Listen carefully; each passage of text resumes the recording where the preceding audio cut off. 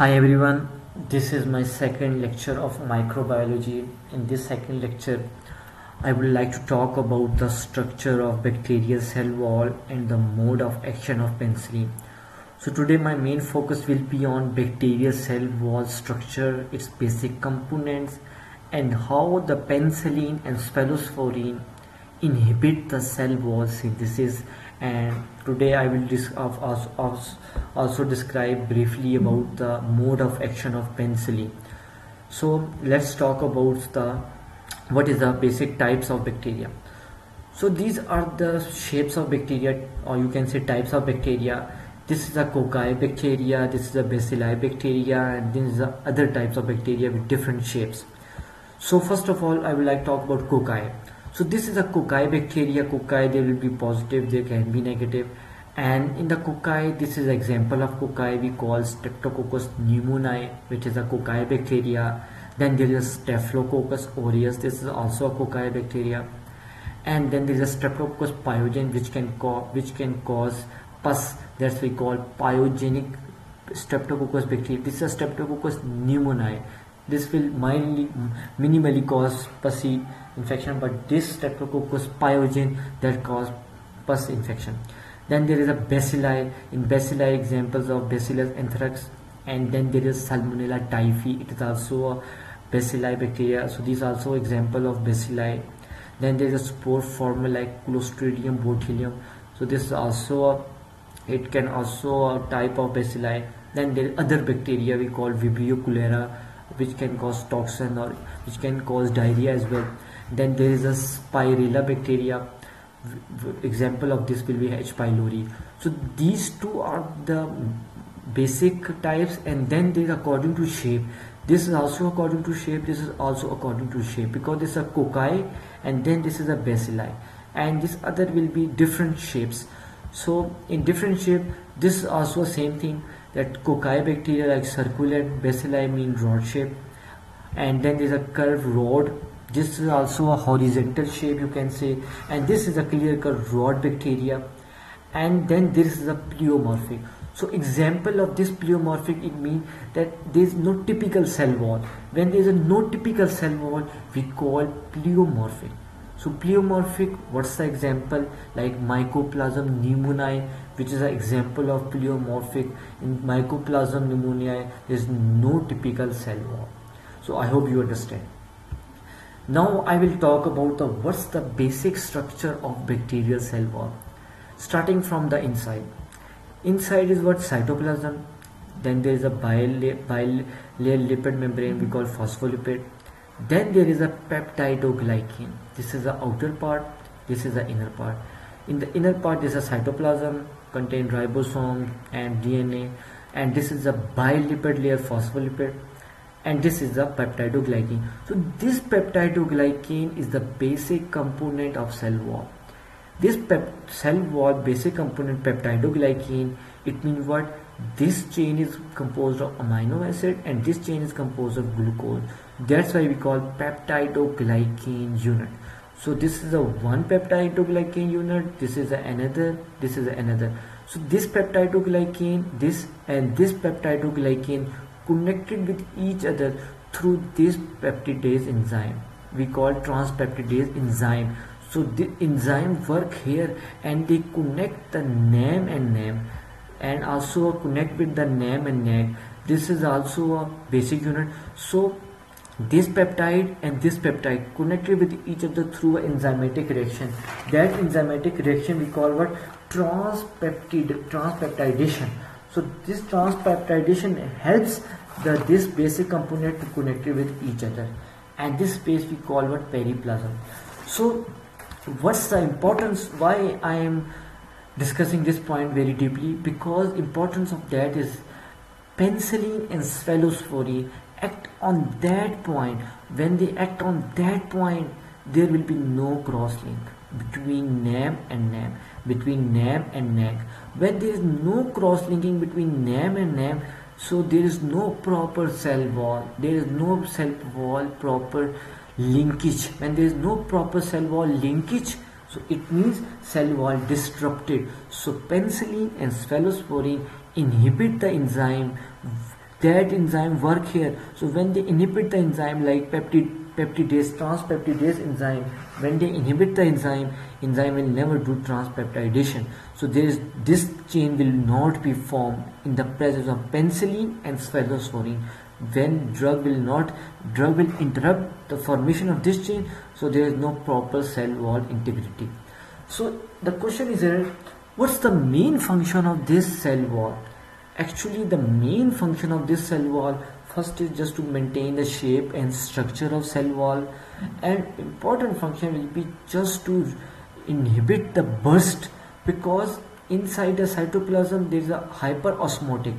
So in the outside there is a hypoosmotic for example if bacteria dead bacteria present in the pharynx in the throat. In the throat so bacteria present in the throat. So bacteria extracellular environment will be what? Hypoosmotic and inside is what? Hyperosmolar.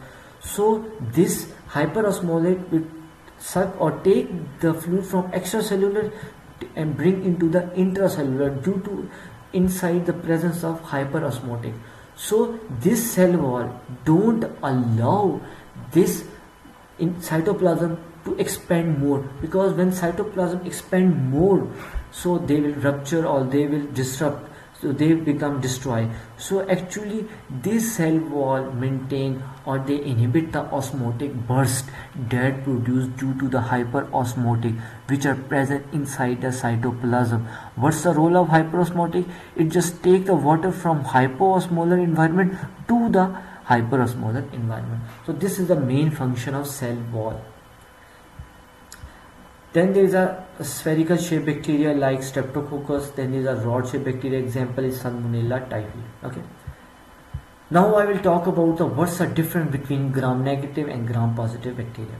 In gram negative bacteria actually there is a one there is an inner cell membrane and then there is an extra outer cell membrane so this is a benefit for gram-negative bacteria that it have two cell membrane, inner cell membrane and outer. Between them there is a peptidoglycan, same which I already discussed in the structure of bacterial cell wall. So peptidoglycan mean peptido mean amino acid and glycan mean sugar. So peptidoglycan is a combination of sugar and amino acid so that's why gram negative bacteria so most of the antibiotics will never damage that gram negative bacteria because presence of this outer cell membrane. So most of the so this gram negative bacteria resists the antibiotics because it, that bacteria have outer cell membrane as well as inner cell membrane. So it resists the bacteria that it resists the antibiotic because antibiotic will never work on that. So that gram negative bacteria is also produce toxin which we I will discuss later okay and this this is a gram positive. In gram positive bacteria inner cell membrane but there is no outer cell membrane. And but there is a peptidoglycan but there is no outer cell membrane. So even narrow spectrum antibiotic or broad spectrum antibiotic can work on dead gram positive bacteria. Why? Because there is no barrier. Inner barrier is present but there is no another barrier which barrier present in gram negative bacteria. So most of the antibiotic work on dead gram positive bacteria. So when most antibiotic work on dead gram positive bacteria so they easily kill the bacteria. One thing remember when the bacteria multiply then antibiotic work properly. Because some antibiotic will be bactericidal like you can say vancomycin, cephalosporin, penicillin, metronidazole. These all are the bactericidal. They're killing the bacteria. Why? When? When they kill the bacteria? When bacteria multiply. Because already formed bacteria, antibiotic will never destroy their bacteria properly. But when bacteria uh, multiply into daughter bacteria, then that daughter bacteria there is no proper cell wall so then antibiotic work properly. So antibiotic work when when there is a multiplication of bacteria. So multiplication lead to thin or loose bacterial cell wall so it can work easily. So i hope so you understand. So this is the very main point here that why why antibiotic work on the newly formed bacteria.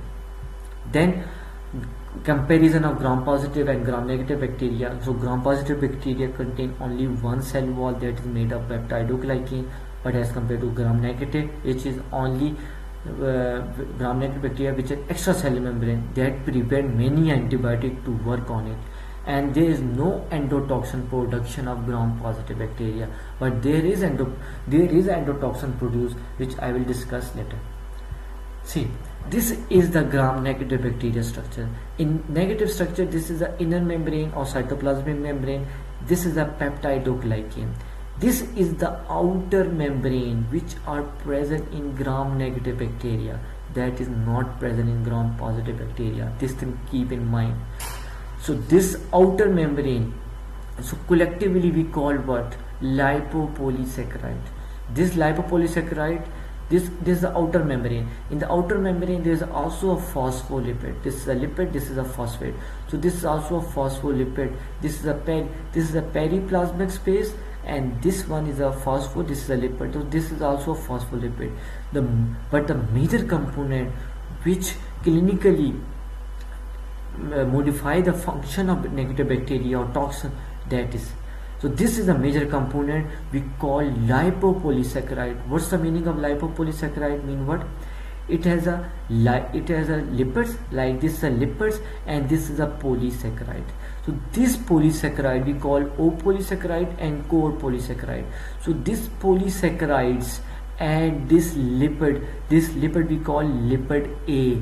So this lipid A and this polysaccharide collectively we call what? Lipopolysaccharide.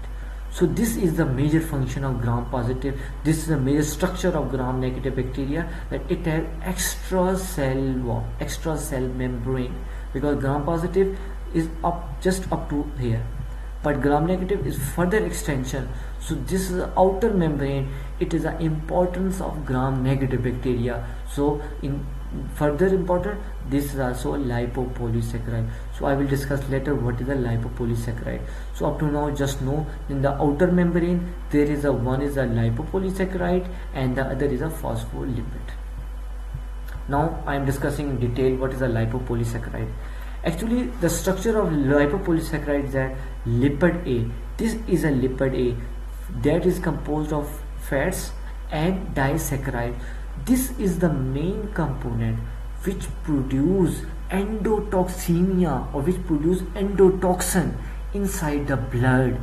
Gram positive never produce endotoxin because gram positive bacteria don't have lipid a structure or component.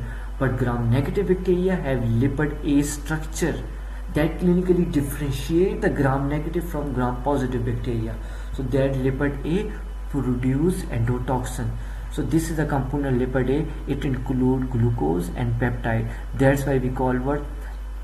So this is a disaccharide form and this is the outer which we call O antigen. This this one is the O antigen okay? This is a lipid A this lipid A this small lipid A I am discussing here this this lipid A so that lipid A which so that lipid A contain what? Glucose and lipids. So this is the lipid A molecule which which help the bacteria to produce endotoxin. So question is here what's the difference between endotoxin and bacteremia? Actually bacteremia normally in everyday uh, in our throat there is a bacteria but there is no endotoxemia. When the bacteria present our immune system remove that bacteria without any infection. So this we call bacteremia. Every day when you brush the teeth so many bacteria can present in the throat but so without causing any infection our immune system just eliminate that bacteria. But what is the endotoxemia? Endotoxemia is a condition when bacteria present inside the circulation it multiply immune system activated and cause infection. And endotoxemia lead to septic shock.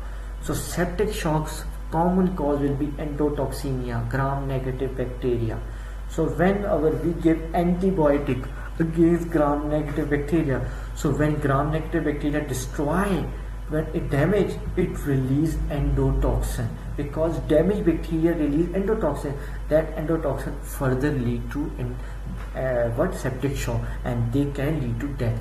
So this gram negative this lipid a component is a major cause of septicemia in icu or ccu ward as well.